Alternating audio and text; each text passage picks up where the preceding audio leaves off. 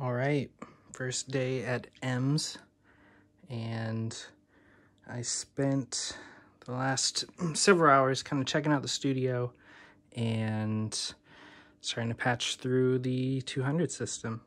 Um, I spent quite a bit of time first kind of checking out the 227 and the uh, 228, or sorry, 288V. Um, two things that I hadn't ever messed with before, and so just kind of getting to know them. Um, this is cool. I've always wanted to know what this was, and this is a specific module that um, Daniel, that oversees this place, uh, who's the main or head tech, made. Um, yeah, it's got some audio to, uh, or yeah, audio to CV um. It's got a light level um, that's uh, CV controllable. So I have uh, fluctuating random voltage going into this right now. So sometimes if you ever see videos of people using this, you'll kind of see a fluctuation in light. It's not too drastic right now because I got the rest of the lights on. Um, uh, it's got an audio attenu attenuator. Um, haven't really gone through these. I think these are all connected. A lot of these things are kind of normal to this, and this then um, goes to uh, Patch Bay over here. Um, down here, this is the whole room.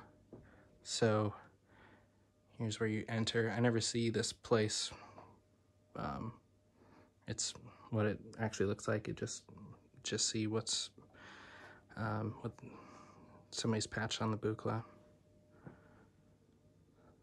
Um, so yeah, they've got this kind of a surround sound setup, which I've kind of got set up for quad and trying out the uh, binaural mic a little bit. I'm not worried too much about that one just for today. I think I'll kind of dig in with it more. Um, so yeah, I just made a kind of big patch with a bunch of voices just to get a feel of things. There's some things that are not quite working uh, right. The uh, 218 um, kind of jumps in voltage, like if you've got some static um, electricity built up, it'll kind of jump pitches, um, even though they have a um, anti-static mat here. Um, this is an original Marf, which uh, is super buggy. so it's pretty funny to, uh, you know, we're used to the uh, clones being super buggy, but uh, this one as well, just like everybody's said it has been. Um, unfortunately, the second 296 is on the bench getting um, new sliders and kind of all taken apart. So there's only one here. Uh, didn't get to the 205 yet. Um, and uh, the on the 288, the 7 and 4 um, outputs are not working, or those taps. It's kind of interesting because I, I can tell it's like they don't work within the panel mix, but then I don't think they work um, with the preset mixes either.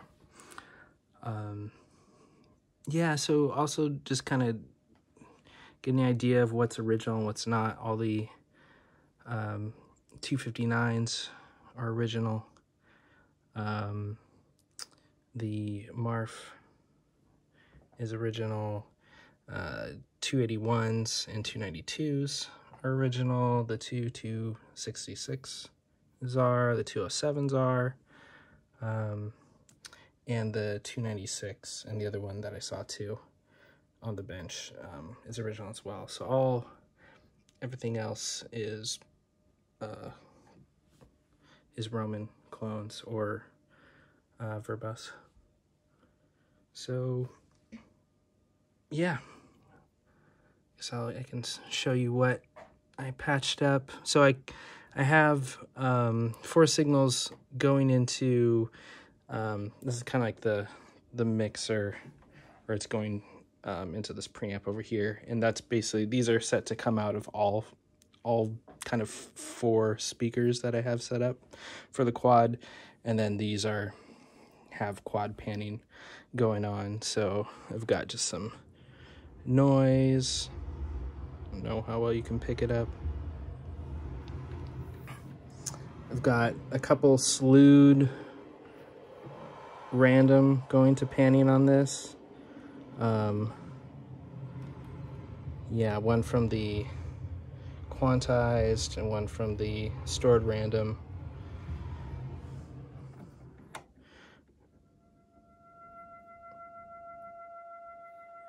Just kind of a vibrato, higher tone, uh, two fluctuating voltages uh, going into this one for panning. And yeah, that's a 259. Let's see here. Going into the 291, and that's just a sawtooth out of modulation oscillator.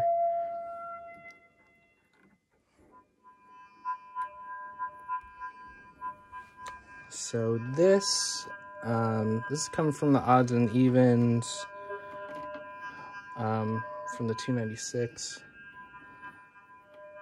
And that's from 259. Uh, what I did with this is I put, let's see, I put fluctuating random voltage into the harmonics, but for the odds and evens, I have those um, set up from envelopes in here. I was kind of messing around with that. Uh, and then the a couple other envelope outs are going into the low pass gate that then this is routed into. Um, so yeah, that's kind of fluctuating. And then I don't know how well you can see these lights going, uh, but they're just um, cross patched. So yeah, two 281 envelopes, kind of cycling at different rates, going to X and Y, and then I have the X going into the Y and the Y going into the X. So they, yeah, are crossing up. Um, here I've got um, this other tone set up. I'll turn it down. I have it going to this offset, um, so I can just control the volume here. And this is a 259 that's getting controlled by the Marf. Um, so every time I tap a key, oh yeah, I don't have it plugged in anymore. That's right. For I just did a performance with this and plugged it in and plugged it out. So every time I tap the key, um, I've got the seven stage sequence and I've got enable hit on uh, stages three and seven, so it'll kind of sustain on this one. And if I hit it again, and then I'll stay on seven. So I'll just kind of keep on cycling with every hit that I do. Um, so yeah, there's, and then I can bring up the volume with this as I go. So I was messing around with the 288 and I kind of trying to wrap my head around this whole um, kind of auto control cycling. This is this section kind of samples what you put into it and then you can kind of hold what's going on and then mess with it. and I fell upon this rhythm and then just kind of built off of it. So, um, so I've got no other kind of timing pulses or anything like that, but yeah, this is holding down the, the timing. Um, and then I've got another 259 um, that's getting a reference out pulse to its uh, timbre, so you can kind of hear it hitting. And this, I was using this with the um, the 288 um, just for doing short kind of I was just doing taps to hear the, or hits to then hear the delay taps.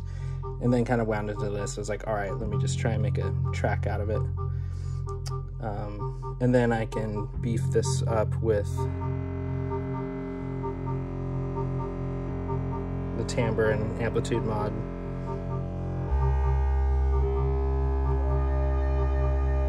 So these kind of work together.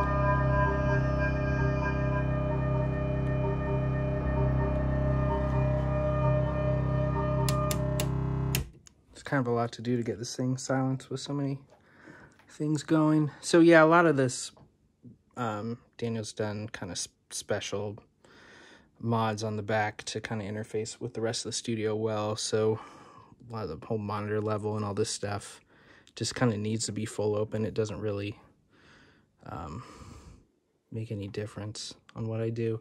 Um, it is too, I was always interested about this. It's something. Um, yeah, it's two six U boats. Here's like the seam in the middle. And so, yeah, he's kind of has like two cases and then he has this um, sandwich in between and kind of mounted together.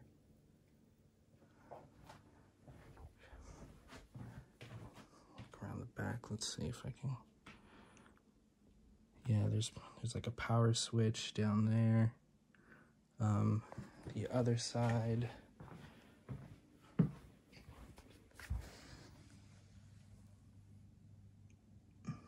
It's got this thing, program outputs.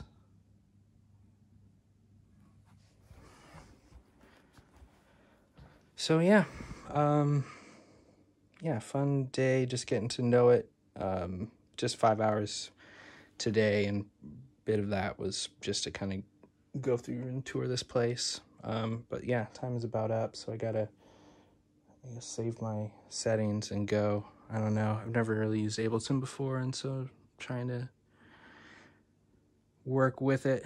Um, yeah, I'll uh, I'll get more of this stuff.